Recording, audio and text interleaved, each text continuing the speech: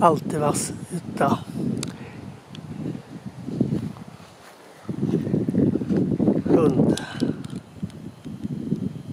Hundstugan.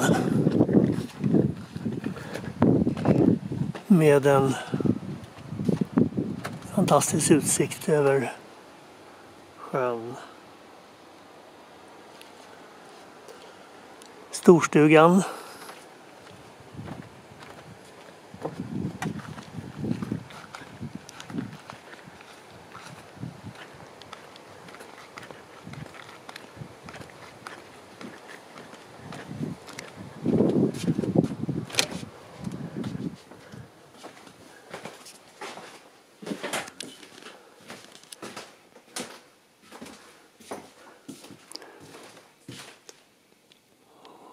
fint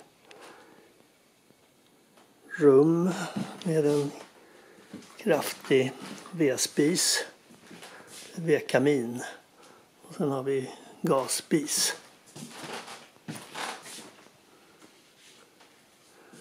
Mycket fönster.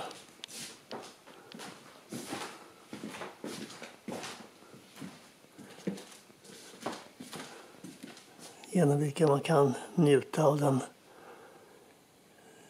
de fina vyerna. Vi ska se hur många bäddar det är.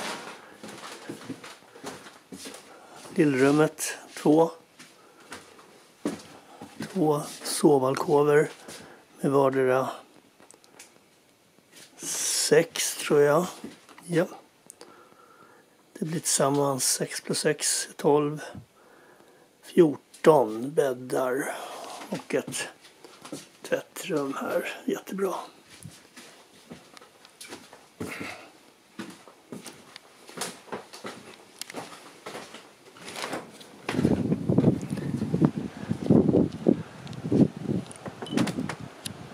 Ja, imorgon fortsätter jag mot Gaska